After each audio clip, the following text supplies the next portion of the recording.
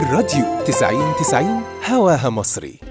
ورجعنا لكم تاني في راديو بيضحك على الراديو 90 90 دايما هوانا مصري وفي حلقة استثنائية جدا من شرم الشيخ بعد انتهاء فعاليات منتدى شباب العالم. معانا النهارده زي ما قلت لكم قبل الفاصل النجمة الجميلة جدا ريم مصطفى. منورانا يا ريم مبسوطين جدا إنك معانا على الراديو. حبيبتي يا فاطمة أنا اللي مبسوطة جدا. عايزين أول حاجة طبعا نبارك لك على فيلم نقطة تلاقي والفيلم عمل ردود أفعال جامدة جدا.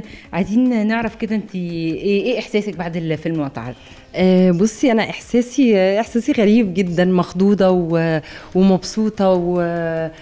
وفخورة إن أنا عملت حاجة زي دي وعندي عندي احاسيس كتيرة والله جدا يعني بس بس حاسة إن أنا عاملة حاجة راضية جدا بيها وفرحانة قوي بيها. تعالي نرجع الأول الفكرة اتعرضت عليكي إزاي وال... والموضوع ابتدى كمشروع إزاي؟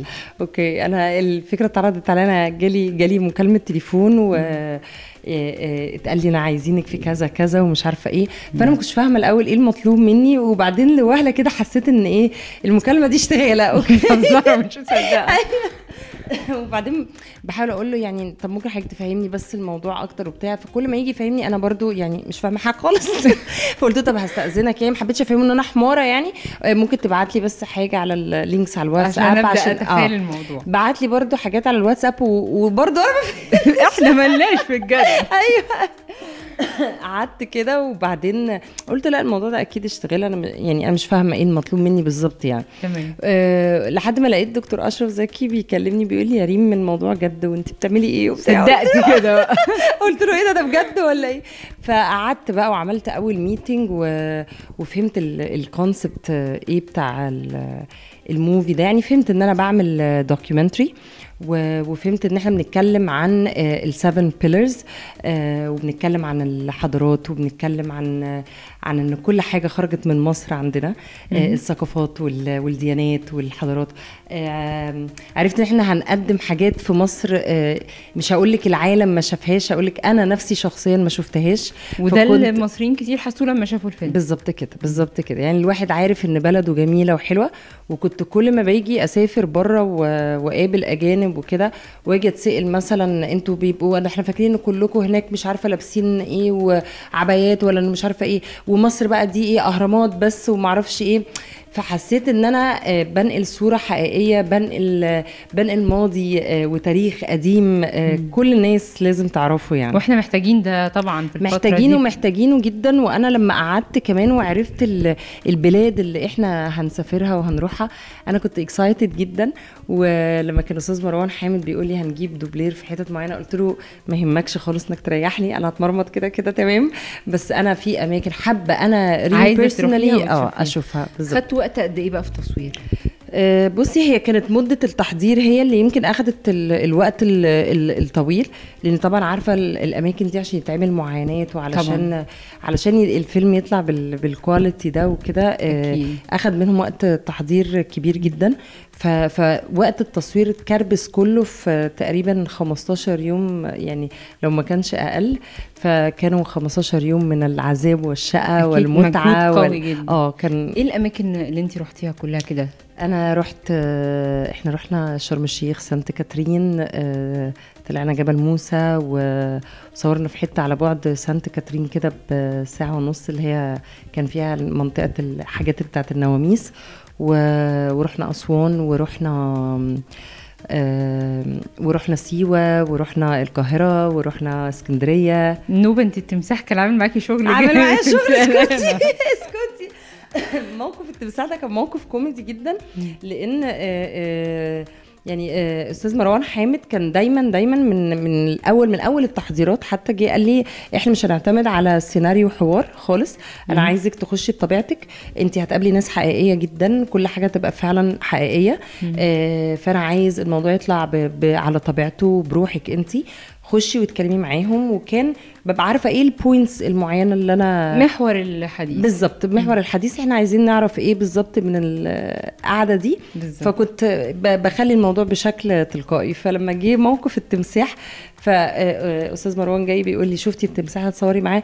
قلت له لا ما أنت مش قلت لي. ابقى على طبيعتي أنا شفته مش لا ما شفتوش ما كنتش شفته. قلت له أنا سايبة أشوف نفسي يعني في ساعتها. آه قلت له هشوفه مع المشهد يعني دي كانت فعلا أول لقطة ليك. آه آه.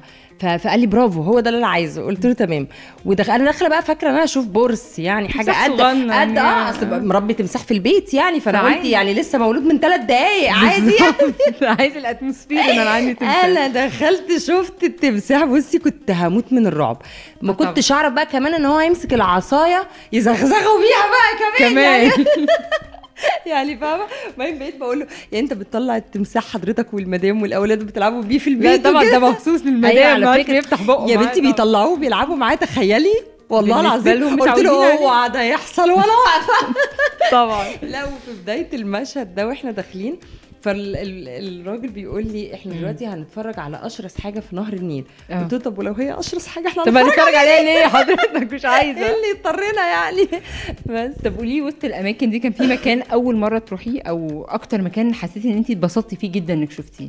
آه، بصي يعني أنا آه، عايزة أقول لك أنا تقريبا كل الأماكن أعتبر بشوفها لأول مرة.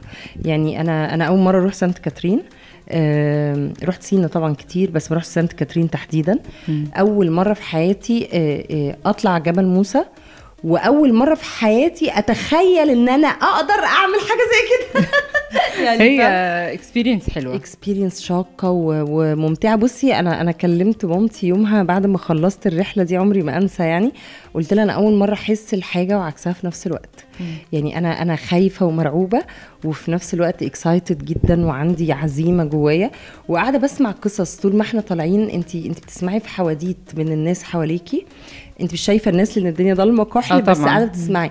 يعني تسمعي مثلا ناس كتير جت هنا ما قدرتش تكمل ناس كتير حاولت تصور على قمة الجبل ما عرفتش توصل فبقى عندي إصرار أكتر. إنك لازم تكملي. وبس آه، بسمع كمان آه، آه، قد إيه ناس تعبت وبشوف ناس حواليا تعبانة فده كان بي بيخوفني جدا من من الموقف يعني. ومش عارفة هنقدر فعلا نكمل ولا لأ. آه، أخدنا 12 ساعة على فكرة على رجلينا مجهود طبعا. طلوع ونزول. إحنا ابتدينا نطلع الساعة 10 10 بالليل. آه. على ما نزلنا تقريبا كانت آه، 11 آه، نزلنا تقريبا كانت 11 الصبح. آه. فكانت مأساة. كانت طبعا وكانت صعبة. أكيد هي بتبقى حاجة شاقة بالذات تسلق الجبال ده حاجة متعبة جدا, جداً. ومحتاجة تدريب على فكرة قبلها. فترة. تدريب؟ أنا أنا الموضوع جه كده. وبعدين أنا سامعة مش عارفة الأول بيقول لك 750 سلمة وبعدين بناخد مش عارفة إيه على ما نوصل ل 750 بداية ال 750 سلمة. ده أنا قصة. أنا فاكرة بقى 750 سلمة زي 750 سلمة يعني اللي هو بنطلع بيهم في عمارة. يعني. لا لا, لا, لا عدد. دي, دي blocks blocks زي مثلا ما تكوني طالعة وليها. ارتفاع فشاقة. لا حاجة حاجة حاجة بهدلة جامدة جدا جدا. جدا ما حدش ممكن يتخيلها ابدا يعني. وسيوة كانت أول مرة أروحها. و أسوان actually أنا رحتها قبل كده بس ما رحتش الأماكن دي. ورحت معبد فيلة كنت زمان قوي وأنا صغيرة. فما كنتش فاكراه خالص وحسيت إن أنا أول مرة كمان آه، بروحه. وده إحساس وصل لكتير من الناس إن هم حسوا إن بلدنا فيها أماكن حلوة كتير قوي إحنا ما بنروحهاش أو مش حاسين بيها. هرجع أكلمك عن ال crew أكتر بتاع الفيلم بس نطلع فاصل ونرجع تاني. خليكم معانا.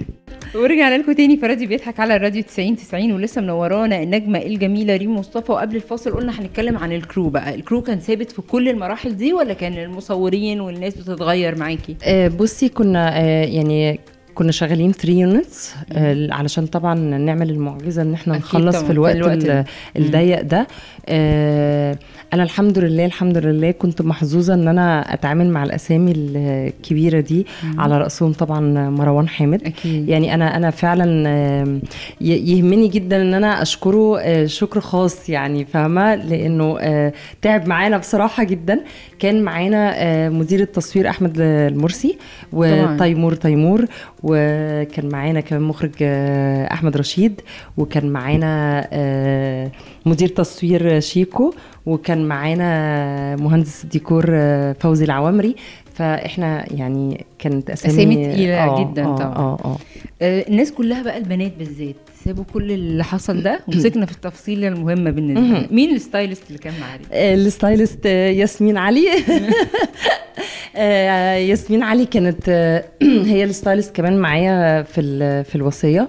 آه، يعني كان ليها ليها الفضل الكبير وفي إنه- الوصية ده كان فيه آه، آه، ال look بتاع الشهيطاز بالظبط كده. بالظبط كده. يعني يمكن كنت أنا وياسمين البنتين الوحيد اللي موجودين في في في. الرحلات القاسية اللي إحنا عشناها دي. بس يعني الحمد لله. أنا وياسمين كنا للناس إن أنتوا قريبين من. يعني لبسك بسيط بس في نفس الوقت يعني أنا بصي عملتي تركيبة غريبة آه آه. يعني إحنا كنا آم، آه، أستاذ مروان برضو كان من الحاجات اللي طلبها مننا كان في في الأول إنه كان مأكد عليا جامد جدا جدا إن أنا أبقى طالعة حقيقية طالعة بطبيعتي. قال لي اعملي حسابك إن إحنا ممكن نبقى بنصور في وسط الصحراء آه ولا هنعمل شعر ولا ميك اب ولا هيبقى في كرفان ولا في حمام أصلا. والحمام فعلا ما شفتوش غير بعد ما التصوير خلص يعني. كمان كمان. حرام والله عليك. العظيم. أنا بقول لك إيه؟ طب ده أنا دخلت طلب الجيش. لاي بني آدم الحمام مش عايزه أكتر. بقول لهم جندي مجند ريم مصطفى يعني فاهمة؟ لا هي تجربة من اللي انت بتحكيه كمان آه،. الناس بتشوف الصورة النهائية لكن هي فيما يبدو مجهودها. قوي جدا. عايزه أعرف إيه اللي انت استفدتيه أو اتغير فيكي بعد ال experience دول؟ هم 15 يوم بس ده شقة. بصي أنا أنا يمكن اكتشفت اكتشفت في نفسي حاجات كنت عمري ما اكتشفتها قبل كده. يعني ما كنتش متخيلة إن أنا عندي الإصرار والعزيمة دي. إحنا يوم ما طلعنا على على جبل موسى أنا ونزلنا. أنا عايزة أقول لك إحنا من ابتداء من اللحظة دي كنا فعلا فعلا بنغير في العربية. ده مش أي كلام. أنا مم. أنا الوقت كله كنت بغير هدومي في العربية خلاص مسستمة نفسي هعمل إيه هظبط نفسي إزاي. خلاص أنا عارفة إنه شعر مش هعمل شعري مش هحط ميك اب أنا كنت طول الوقت عايزة أقول لك كنت بحط الكارت اللي هو ال sun tanning بدل ال fond de teint أو أي حاجة من الحاجات دي. ما خلاص ما انت في الشمس كده البنات. اللي هتقدر ما انت هتاخدي ال tan هتاخديه. أخده مظبوط بقى. نظبطه أخده بمزاج بقى فاهمة؟ بس ف يعني يعني آه، آه، أنا اتعلمت حاجات بصراحة كتيرة قوي و كنا كنا أنا وياسمين عاملين هاشتاج كده آه، كل شوية أسد يلا في إيه؟ يعني آه، ابص لها طبعاً. كده. أقول لها ياسمين أنت عايزة تنامي؟ تقول لي أسد يلا في إيه؟ ويقوم عليها بقى. الموضوع قلب على آه، جيش فعلا يعني بقول لك. آه، لما نزلنا من على جبل موسى آه، اكتشفت ان كلهم كانوا متأكدين بنسبة 99% إنك ممكن مش هتكملي إن إحنا for sure مش هنقدر نكمل آه، وإنه كانوا عندهم plan B يعني هيعملوا إيه إيه. ساعتها لو آه هم مأقلمين نفسهم إن أنا أكيد مش هكمل فهم مسستمين نفسهم ل يعني لل plan الثانية بس انت خالفتي التوقعات كلها مش بنوتة رقيقة لا لا لا لا لا. كملت لا لا لا لا الموضوع. مفيش بنوتة خالص بقى.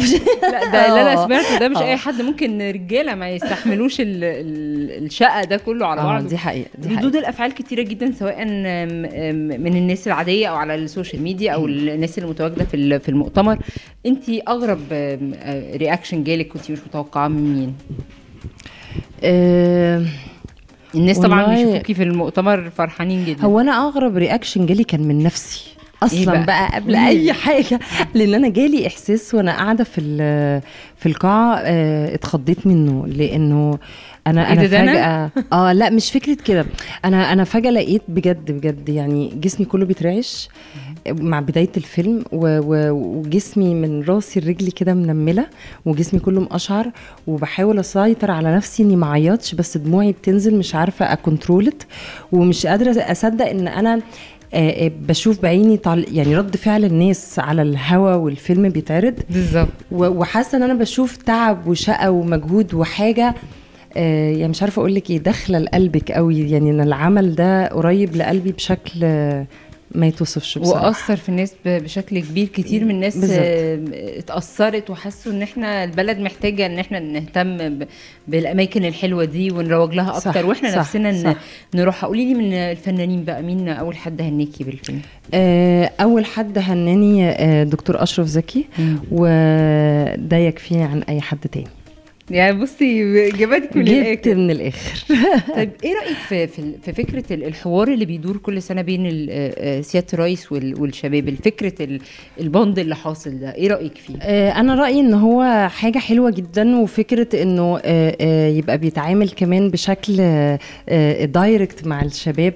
ده بيدي إحساس بالإطمئنان وبيدي طبعاً. إحساس بالتشجيع جامد جدا. و... وأنا شايفة إن إحنا يعني من الفيلم اللي إحنا عملناه إحنا بنقول إن إحنا الأصل كان هنا إحنا بنقول إحنا الماضي إحنا بنقول إحنا الحاضر وإحنا ال- المستقبل. وأنا بشوف إنه ال- الشباب هم فعلا مستقبل مش بس بس بس مصر العالم كله. طب هنبدا الفترة الجاية نشوفك في أفلام تسجيلية تانية الفكرة شدتك؟ قول يا رب يعني, يعني إن شاء الله. إن شاء الله إحنا مستنيين إن إحنا نشوفك قريب في حاجة زي كده قريب لأن بجد انت قدرتي تمسي قلب الناس ويحسوا إن انت. زيهم وبطبيعية بتتكلمي وانترفيوهات من قلبك الموضوع ما كانش فيه تكلف بالعكس الرسالة نقدر نقول هي وصلت لقلب الناس لله. هنطلع فاصل ونرجع نكمل معاكم خليكم معانا